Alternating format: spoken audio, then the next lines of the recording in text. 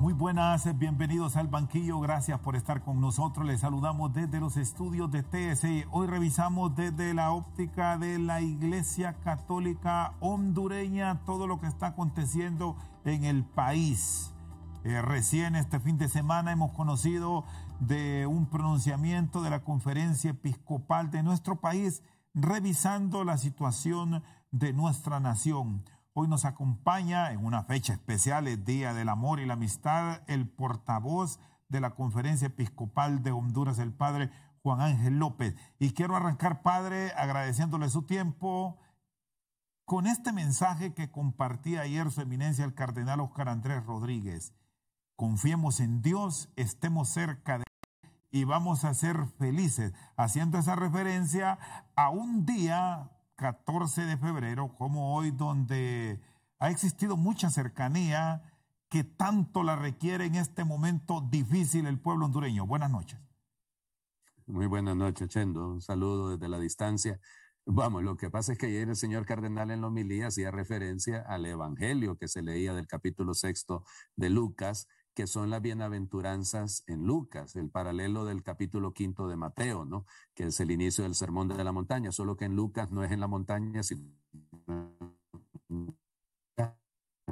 y entonces el Señor Jesús decía, dichosos, dichosos, dichosos, dichosos, felices. Ya, Macario, y se dice en griego, es decir, dichosos los pobres, dichosos los que ahora tienen, eh, lloran, dichosos los que ahora pasan hambre, dichosos los que son perseguidos. Entonces, pero evidentemente los que ahora, no es que es una situación permanente, y el señor cardenal por eso apuntaba, la confianza puesta en Dios, era la primera lectura del capítulo 17 de Jeremías, maldito el hombre que confía en el hombre y bendito el hombre que confía en el Señor. Entonces, poner la confianza en el Señor me lleva a la paz, me lleva a la verdadera felicidad. Todos necesitamos eso, Chendo, porque necesitamos ordenar nuestra vida. Ahí está la clave de todo. Una vida desordenada, una vida en, lo que, en la que todo vale lo mismo, en la que los valores se pierden y el sentido de lo que somos delante de Dios y de los demás desaparece, entonces vivimos lo que nuestra sociedad lamentablemente está sufriendo.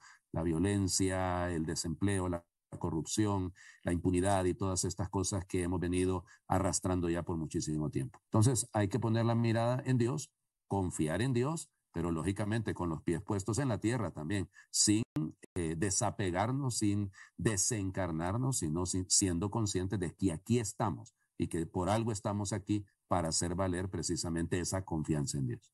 ¿Cómo deberá a propósito ordenarse? La nueva administración del país con muchos retos, eh, mucha promesa de campaña que ahora como gobierno deberán cumplirle al pueblo hondureño. ¿Cuál es la visión eh, sobre la cual deberá caminar esta nueva administración en apenas 21 eh, días para el Congreso, 19 días para el Ejecutivo? Bueno, Chendo, el asunto no es qué es lo que por directriz, podemos decir nosotros, porque no nos corresponde, pero sí por acompañamiento. Es decir, estamos aquí, somos parte de esta ciudad, de esta ciudadanía, de esta realidad, de este mundo en el que estamos. La iglesia no es desencarnada, no se desentiende de lo que viven, no, no, sea, no, no, no de la iglesia únicamente, vamos de todo, nos ocupamos de la persona humana, de su dignidad, de su valor y de su importancia. Entonces, ahí hay que partir de ese punto, pues porque hay algunos, usted bien sabe que siempre aparecerá más de alguno, ay hombre, Chendo llevó el día de los enamorados a un cura y hombre, y es que está, bueno, San Valentín era un sacerdote de todas maneras, pero igual, entonces van a pensar, hombre, y para hablar de política, ¿qué se tienen que meter los curas en política? Y hombre, si es que nadie se está metiendo en la política partidista, en la política vernácula o en la politiquería barata en la que a veces eh, estamos aquí inmersos en nuestro país. No, se trata de eh, que comprendan, es decir, también nosotros somos ciudadanos y desde nuestra fe tenemos una responsabilidad, porque si nos quedamos callados, es decir, nos volvemos cómplices al, tener una palabra para animar, para corregir, o sea, nosotros no tenemos ningún poder coercitivo, no nos corresponde, esa tarea es de otros, pero sí tenemos una palabra que es necesario llevarla, que es una, una palabra que es importante para alentar a las autoridades a que sean autoridades, porque por ahí pasa, usted dice, ¿cómo ordenar? Comiencen siendo autoridad. ¿Qué es la autoridad? Algo que se gana, Es decir, no es una potestad han recibido. La recibieron, bueno, no sé cómo el Congreso eh, de la República, doña Xiomara Castro, lógicamente ha recibido una potestad que le fue confiada el 27 de enero. Muy bien, hay, hay algo que se le ha entregado. Ahora la autoridad se la gana cuando hay coherencia, es decir, cuando lo que yo digo es lo que yo hago, cuando mis palabras concuerdan con mis actos. Entonces ahí aparece la autoridad. Entonces, ¿cómo va a haber orden en el país cuando hay autoridad? Porque si vamos a repetir las mismas cosas que hemos criticado en el pasado, si vamos a seguir actuando con la misma actitud corrupta, con la misma actitud impune, con la misma actitud revanchista, divisionista, entonces perdemos autoridad. Entonces la autoridad, insisto, se necesita y es eh, nace de la coherencia de la vida y de la consecuencia de la vida. Cuando hay palabras y actos que no riñen, sino que al contrario se encuentran. Y entonces eso es lo que pedimos, ¿no? Que por ahí se empiece. Evidente, apegados a qué? Hay un estamento legal que debe condicionar. Juraron pues defender y la constitución y las leyes y vivir en base a eso, cumplir y hacer cumplir. Entonces, por ahí parte, ¿no? Es decir, ya hay una regulación, insisto, ya hay una estructura, ya hay un marco por el cual se deben, eh, pues deben caminar, es un cauce que debe permitirles a ellos caminar de una manera expedita, de una manera clara, que no se pierdan en esto, pues lógico, el Congreso están también para generar leyes, para reformar las que haya que reformar, para cambiarlas cuando haya que cambiarlas, pero sin generar un revanchismo, sin generar un divisionismo y sin generar un circo. O sea, es decir, se trata que debe ser un, es un parlamento. Entonces, en un parlamento lo que se hace se habla, pero nadie tiene derecho a hablar si antes no escucha. Entonces hay que ser capaces de escucharse, de comprenderse y de juntos, de todo las diferentes maneras de pensar, eso es legítimo, pero que se puedan poner de acuerdo para poder sacar adelante el país, porque lo que cuenta por encima de cualquier líder, lideresa, de cualquier partido político, de cualquier color político, es el país. El amor al país es fundamental. Si volvemos al tema de que hoy es el Día del Amor y la Amistad, bueno, habrá que ver cuánto amamos a nuestro país, habrá que ver cuánto hay amor por la patria, cuánto hay un de patriotismo legítimo, maduro y ordenado. Bueno, y ahí encontramos, Padre Juan Ángel, en el pronunciamiento de la Conferencia Episcopal de Honduras que hace referencia en este tiempo, caminemos juntos. Gran significado frente a toda esa esperanza que abriga la población y que ya usted lo refería en una nueva administración, sobre todo por el tema de la reconciliación de país que será fundamental no para proyectos estrictamente políticos, sino para temas sociales, para temas de educación, para temas de salud, para temas financieros, que son tres elementos básicos sobre los cuales se va a cimentar eh, esa reactivación de nación en medio de la pandemia.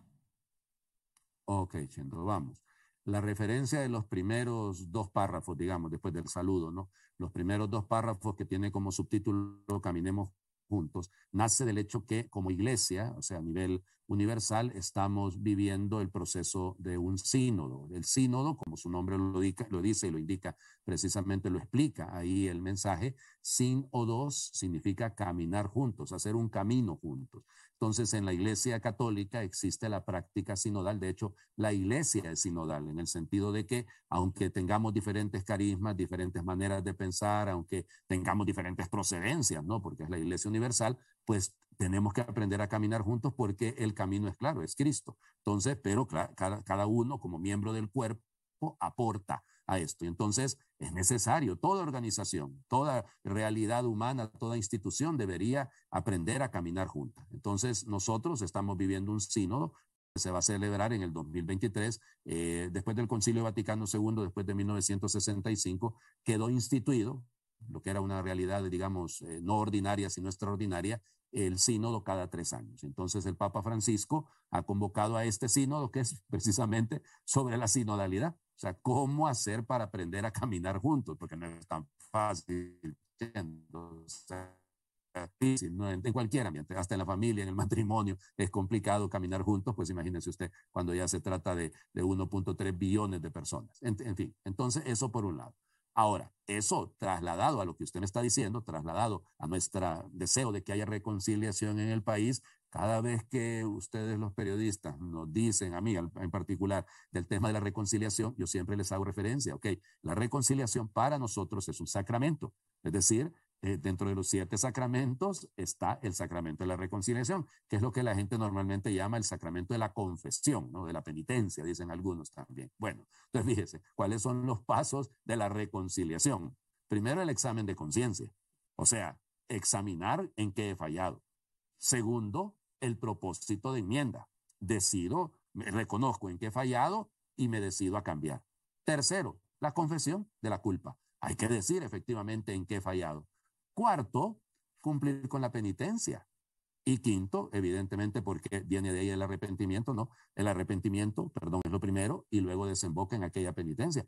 O sea, el examen de conciencia me lleva al arrepentimiento, el arrepentimiento me lleva al deseo de cambiar, el deseo de cambiar me lleva a confesar lo que, lo que he fallado y luego a pagarlo. O sea, porque si yo descubro, o sea, que en mi, en mi examen de conciencia, que yo tomé un dinero, Chendo, que no era mío, pues lo correcto es que lo devuelva y con los intereses, ¿verdad? O sea, y luego habrá una pena. Entonces la reconciliación en el país exige la justicia, porque la caridad no exime la justicia, sino que la supone. Entonces el amor, la caridad, no quita la justicia. O sea, no, no vamos a lograr una reconciliación eh, eh, con un repello, o sea, con un, un, ¿cómo le diría? Con una serie de acuerdos, con una serie de firmas en las que no hay efectivamente una rendición de cuentas. Sin la rendición de cuentas, es decir, sin llegar a la justicia, muy difícilmente habrá reconciliación, porque tarde o temprano los trapitos volverán a salir, volverán a... y además hacen mucho daño, porque no solo es que afectan a un partido político, no es que afectan a una persona X, afectan a todo el país. Así que la reconciliación será legítima, insisto, y será eh, correcta totalmente cuando haya una aplicación de la justicia.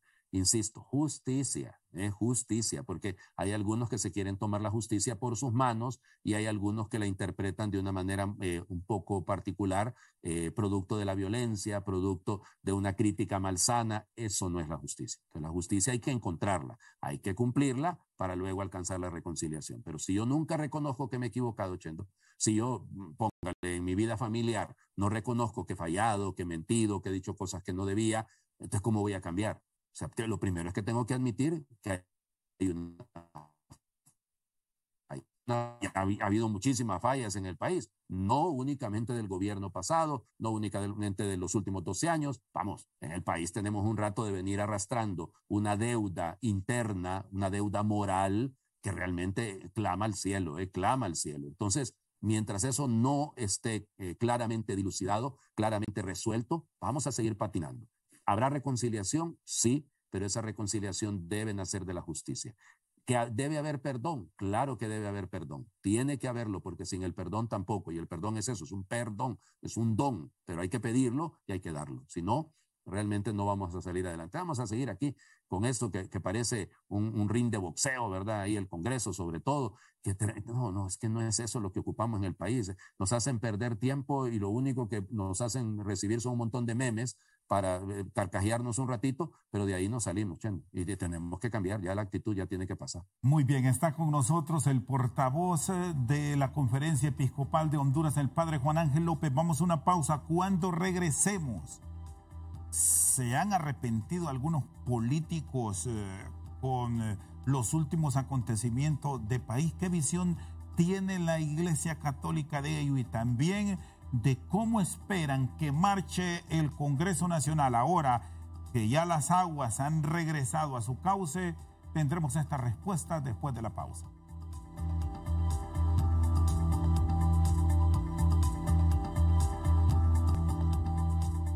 Seguimos esta noche al banquillo con el padre Juan Ángel López. En el documento de la conferencia episcopal se destaca que ya haya arreglos en el Congreso Nacional que al menos se hayan limado asperezas, pero al mismo tiempo reclaman que todo se enmarque dentro de la legalidad y la legitimidad. ¿Qué debemos esperar en eh, ese recinto donde se va a discutir, donde se va a hablar, como ya usted eh, hacía referencia, en cuanto a leyes de beneficio de la colectividad.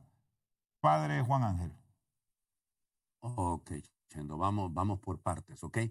Lo primero es volver sobre lo que dice el mensaje. Sí, vemos con agrado, dicen los obispos, que ha habido una resolución del problema en el Congreso Nacional. Pero dice, aunque, y ese aunque es importante, pedimos que estos procesos, porque se van a seguir repitiendo, pues hay que ser realistas, que la, naturaleza humana es falible, ¿no?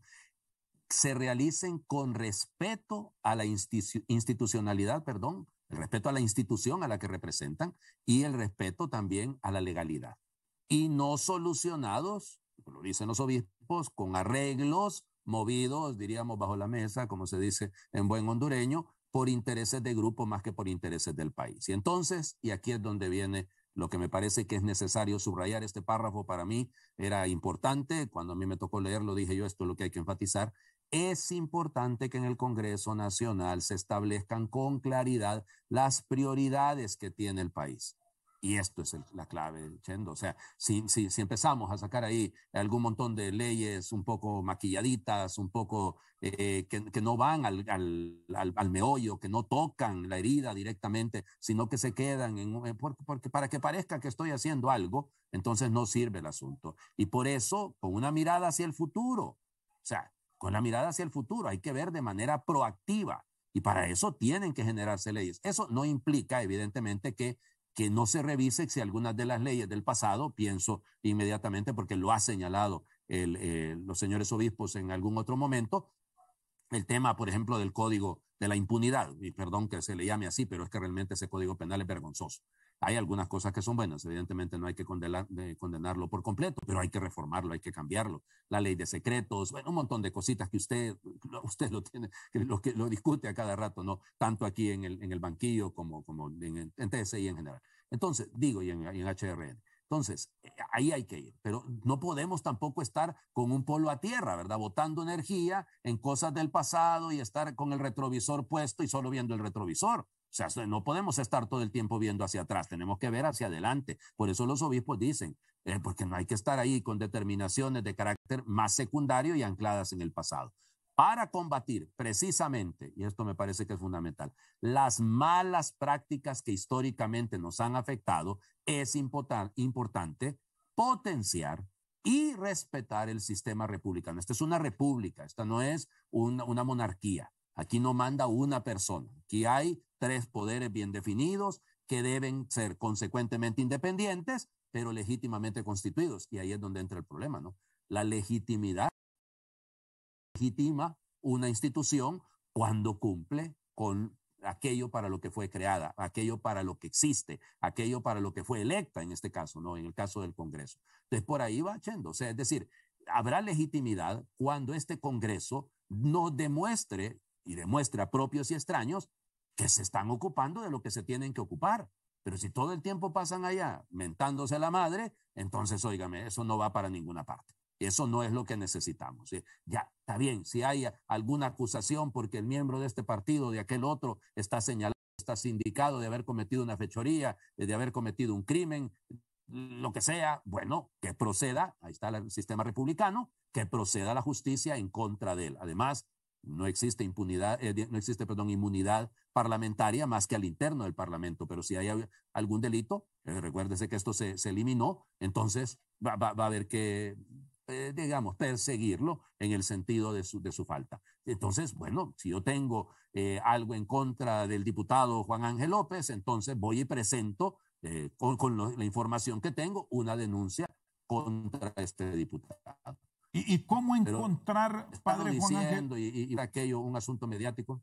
Sí, ¿cómo encontrar, padre, eh, lo que debemos entender como prioridad? Porque aquí viene la discusión enorme que para una institución política de los representados en el Congreso Nacional, eh, el tema de la amnistía puede ser prioridad, hay otros que pueden priorizar el tema de las finanzas, otros pueden ir más allá y hablar del tema de la participación ciudadana, la ley de secretos, eh, abrogar el eh, código penal, la llegada de la CICID, o sea, cómo definir una agenda legislativa con prioridades de beneficio para la colectividad.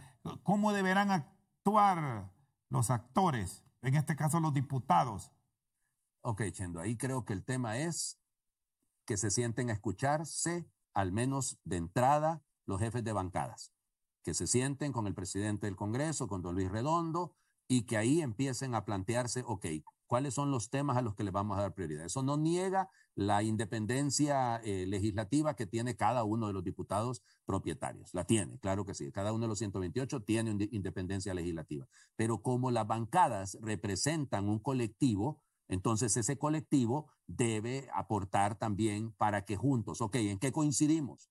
¿Qué es lo que realmente es importante? ¿Qué es lo que realmente se debe priorizar? Porque yo escucho mucho, eh, eh, y escuchamos todos, ¿no? Es que lo que se prometió en campaña, lo que se dijo en campaña, y claro, está bien, pues hay que, hay que buscarle un curso, pero, pero de repente es más, es prioritario el tema del tema de la salud, el tema de la educación. Eso, esos son elementos que, perdóneme, Chendo, en Honduras no han cambiado. E, el tema del el adesentamiento de las instituciones, eso también tiene que estar ahí. Hay cosas que son prioritarias. Por ejemplo, vamos, eh, creo que lo, lo insisten mucho los obispos venimos cargando, Chendo, una deuda, insisto, yo le llamo deuda moral, pero, pero evidentemente tiene carácter legal también. El tema de la corrupción hay que combatirlo a rajatabla, porque es que, mire, Honduras no es un país pobre, es un país empobrecido. Un atajo de pícaros y de criminales nos han robado hasta la paz, hombre. Entonces tiene que terminar, Chendo. O sea, no podemos seguir en eso. Entonces, bueno, prioridad. ¿Cómo hacemos para combatir la corrupción?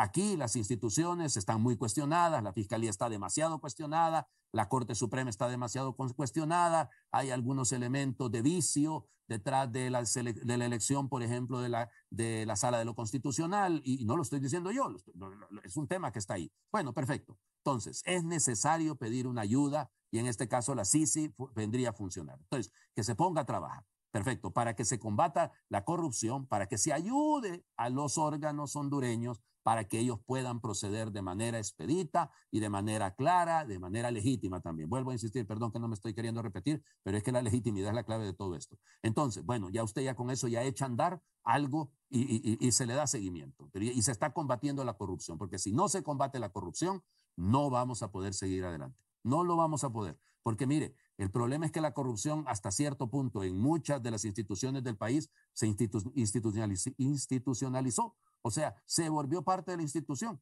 Y entonces usted mira que había, por ejemplo, las denuncias que ha hecho el doctor Mateo. O sea, esos son horrorosas, siendo, discúlpeme, ¿cuántos se han perdido en esto? Y lo digo también porque conozco alguna realidad también al interno de la, de la de la, del Ministerio de Salud, de la CESAL. Eh, es doloroso, Chendo. O sea, por eso, pero bueno, si esa es una prioridad, esa se hace. Ok, pero ¿qué podemos hacer? Porque tampoco podemos pretender solventarlo todo de la noche a la mañana. Entonces, Chendo, hagamos más prioridades. De la siguiente prioridad, ahorita, es el tema salud. Por ejemplo, porque tenemos que salir de esto. El tema, el tema generación de empleo. ¿Ya? Y hay que escuchar, porque, vamos, el tema, no me voy a meter, yo no soy abogado, soy hijo de abogado, pero también sé leer y, entonces está el tema del, del, ¿cómo se llama?, del empleo por hora. Ya, bueno, hay que buscarle una solución, pues hay que encontrar una vía media. Eh, tiene algo de bondades, es posible, eh, que tiene que llegarse a el mismo, el mismo, de todas maneras, esa misma ley lo decía, que después de tres años la persona tenía que entrar a ser contratada de manera definitiva, que no lo han cumplido. ¿Por qué no lo han cumplido? Porque no hay los órganos controladores de este tipo de, o sea, se pone una ley, pero no hay quien la controle. Y entonces ya terminamos con los abusos. Y los abusos, evidentemente, en cualquier campo van a significar un dolor de cabeza y un callo en los pies que no nos va a permitir caminar. Entonces, por eso, las prioridades, Chendo, las da la misma necesidad. Ese es el punto. ¿Qué necesitamos? Venimos cargando, insisto, un historial de corrupción demasiado alto. Bueno, empecemos por ahí. Combatamos la corrupción. Luego, el tema de la salud es prioritario. El tema del empleo es prioritario. Y el tema, Chendo, que no lo digo yo, lo está diciendo, ustedes lo han estado diciendo mucho también, la seguridad jurídica. Mire, Chendo, sin seguridad jurídica no habrá inversión. Nadie va a venir a poner un 5 en Honduras si ese 5 no estoy seguro de que va a cumplir para lo que tiene que cumplir.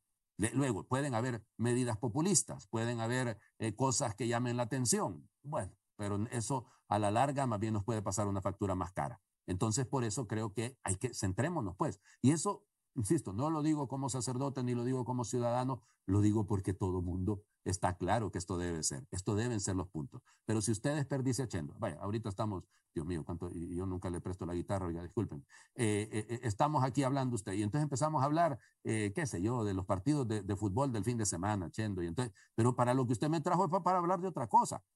Entonces, en el Congreso, si no nos ponemos, si no se ponen, evidentemente, a hacer las cosas como son y empiezan en esos dimes y diretes y en ese, la tuya, la mía, la otra, entonces ya, ahí ya, perdieron tiempo. Y el tiempo es oro en este caso. Se ocupa centrarse, concentrarse y trabajar, que para eso han sido ellos electos y que no se les olvide eso que tienen un mandato que el pueblo se lo dio y al pueblo que no lo utilicen como banderita de, de, batalla, porque no lo representan totalmente, sino representan a una parte del pueblo que los eligió, porque nadie, el 100% de la hondureñidad, no eligió a ninguno de los diputados. Entonces se deben a esa parte que sí les ha, les ha electo. Muy bien, está con nosotros el padre Juan Ángel López, portavoz de la Conferencia Episcopal de Honduras.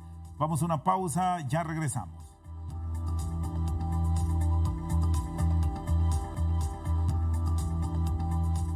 Seguimos al banquillo con el padre Juan Ángel López esta noche hablando de los temas de país. Bueno, eh, quiero eh, compartir este último mensaje de la cuenta oficial de la Cancillería de la República. Eh, si lo ponemos en pantalla, producción, para luego seguir con el padre Juan Ángel López, con el tema del arrepentimiento de los políticos en medio de la convulsión que se ha vivido en el país por el tema de la narcoactividad, que es justamente la referencia que hace la Secretaría de Relaciones Exteriores. La Cancillería, de acuerdo a la ley, ha remitido a la Corte Suprema de Justicia comunicación oficial de la Embajada de los Estados Unidos solicitando formal arresto provisional de un político hondureño con el propósito de extradición a los Estados Unidos de América. Con todos estos mensajes, Padre Juan Ángel, que está mandando a la institucionalidad un socio hondureño, un amigo histórico como Estados Unidos, advierte que la clase política cambiará hacia el futuro o estamos sordos? Ok, Chendo, le voy a decir, porque yo también miré ese mensaje, pero yo también miré los comentarios. Y entonces, usted sabe que yo por eso bromeo mucho, ¿no? Pero un amigo me dijo, perdón, ¿están correctos con ese mensaje? ¿Qué pasó? Le digo, como que sí están correctos. Sí, me dice, solo es uno, me dice. Solo es un político el que se vienen a llevar. No, sí son un montón los que se tendrían que llevar. Pero bueno, en fin, mire, Chendo, ¿qué es lo que más duele detrás de esto? O sea, eh, olvídese de que podemos empezar a especular quién es. O sea, y hay algunos que ya le pusieron nombre y ya están alistando los bombos y los platillos para celebrar, porque así, así está, está puesto en las redes sociales. Mire, más allá de, de todo lo que esté detrás de esto, Chendo, es, todo esto es vergonzoso, ¿verdad? Todo esto es vergonzoso, Chendo. A mí, como hondureño, me avergüenza que, primero, que tenga que venir Estados Unidos a hacernos el favor de limpiar las cochinadas que en nuestro país hemos permitido que ocurran. Así de claro se lo digo. Y discúlpeme que sea tan franco, pero es que así es de doloroso. O sea, el nombre de Honduras ha quedado mancillado, ha quedado manchado por estos que han creído que el poder es la fuente de la felicidad. Y lo único que demuestra es que el poder tarde o temprano se termina y sobre todo frente a la realidad de una tumba también se acaba. Así que por lo tanto es que no han podido aprender estos señores políticos y políticas que el poder se ejerce para servir. Hay que vuelvo al término bíblico en este caso, eh, el Malcaya, el Melech, el rey, pero la traducción literal es el que sirve, el que está al frente para servir. Y entonces, cuando usted no ha entendido que si el Señor, las circunstancias y el pueblo le colocan en esta posición, es para servir y no para servirse. Entonces, primer punto para mí, por mucho, por mucho meme, por mucha broma que haya detrás de todo esto y por muchos alegrones que puedan tener algunos, la clave es esta.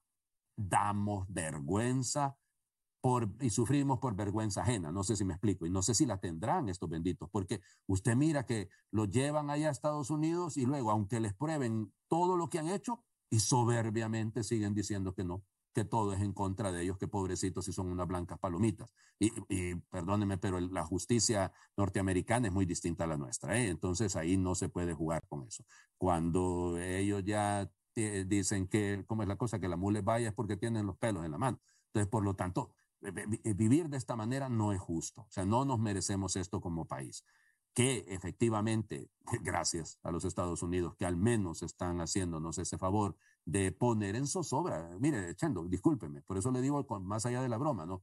De un político. Pero este amigo mío me decía, y solo es uno. Porque entonces, pero ¿cuántos serán? O sea, ¿cuántos no habrán, tendrán las manos manchadas de sangre que hayan mandado a matar a alguien, Chendo, sino porque detrás de cada robo y de cada acto ilegal está la vida de las personas. Pero muestra, muestra esta acción. ¿sí? sí, padre, muestra esta acción del Departamento de Justicia de los Estados Unidos que van en serio.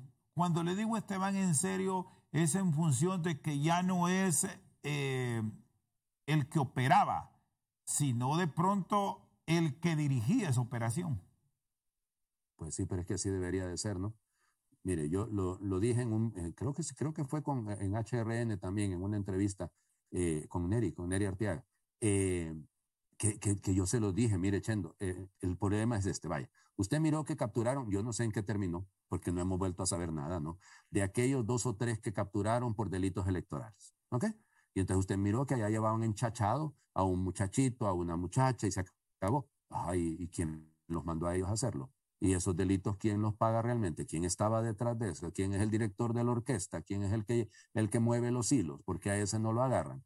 Entonces, por eso le digo que eso es lo vergonzoso. O sea, que, que tengamos que esperar que vengan de Estados Unidos a hacerlo. E insisto, qué bueno que lo hacen. O sea, cuidadito porque es que algunos van a empezar a interpretar. Ah, este cura está diciendo que los enjuicien aquí para que no se lo lleven. Mm, no, lo siento mucho, porque es que aquí no funciona la justicia. No tenemos justicia desde hace muchísimo tiempo y hay que admitirlo y aceptarlo. Y si le molesta a los jueces, y evidentemente estoy metiendo a todos en el mismo costal, claro que habrá algún juez bueno, y yo conozco alguno, claro que sí, alguna. Entonces, sí, pero eso no significa que, que, estamos bien, pues.